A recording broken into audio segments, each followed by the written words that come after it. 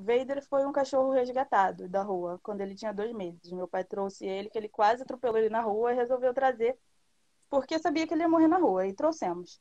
E desde o início, eu sempre achei que eu queria ter um cachorro muito educado. Sempre foi uma, uma vontade Sempre quis, minha, né? Sempre sempre quis.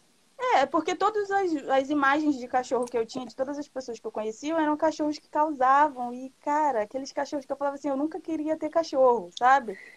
Eu sempre tive gato desde muito nova.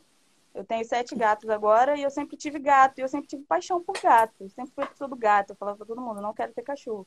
E aí, quando ele apareceu na minha vida, eu falei, não, se for pra ter cachorro, eu quero ter direito, entendeu? Eu não Puta, quero ter que um cachorro muito louco. Aí, eu, na época, eu não tinha grana, eu comecei a procurar por aí, tipo, entrar na internet, caçar como fazer isso da melhor forma. E aí eu achei você, achei, eu procurava conteúdo gratuito na internet para tentar pelo menos ter um norte, né, para onde que eu ia começar a cuidar dele. Mas, como foi o meu primeiro cachorro da vida, a gente co- cometi vários erros ao longo do, do processo. E aí chegou um ponto que eu falei, não, eu preciso de uma coisa mais vidrada, que eu tô rodando, rodando. A gente teve boas evoluções, o Vader se tornou um cachorro muito inteligente, porque eu estimulo ele desde pequeno.